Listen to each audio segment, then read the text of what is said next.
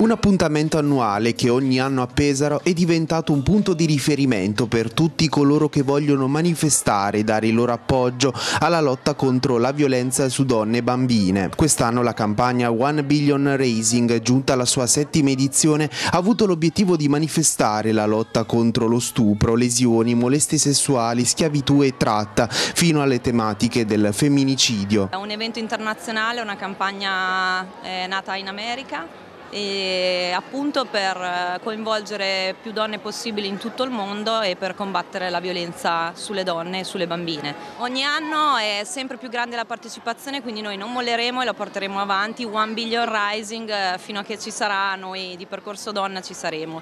Grazie a tutti quelli che hanno partecipato, che hanno aderito e che verranno qui a ballare oggi. Il flash mob sulle note della canzone Break the Chain.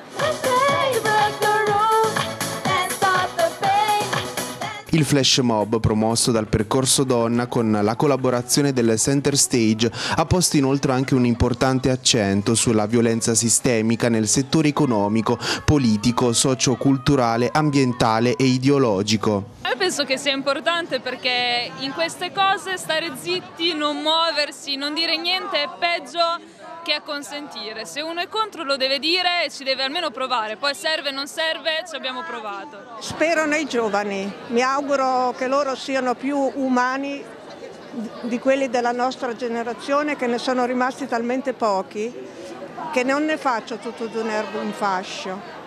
Però i giovani mi piacciono, hanno una grinta, sono più aperti e quindi io adesso dico evviva i giovani, sia uomini che femmine.